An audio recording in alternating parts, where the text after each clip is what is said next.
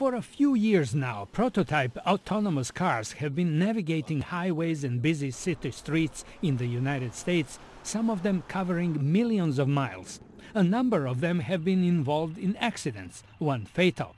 This makes the public, the authorities and manufacturers apprehensive. Motor manufacturers need to know whether it's their hardware or software at fault or whether it's, whether it's the driver and, and what the dynamic is when other third parties are involved outside of just autonomous or connected vehicles. Nevertheless, testing of autonomous cars is increasing.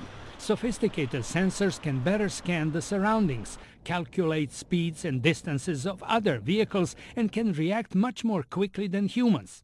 What autonomous cars still lack is the level of artificial intelligence that can make sense of any possible circumstance. the roads are going to be a, a difficult and complicated space.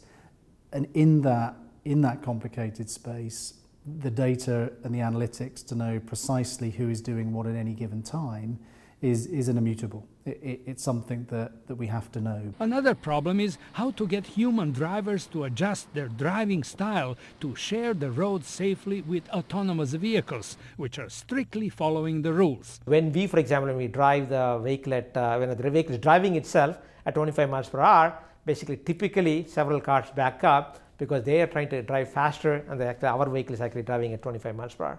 So one has to get used to the fact that hey, these cars stick to the rules. Analysts estimate that by 2025, the global autonomous car industry will be worth over a trillion dollars.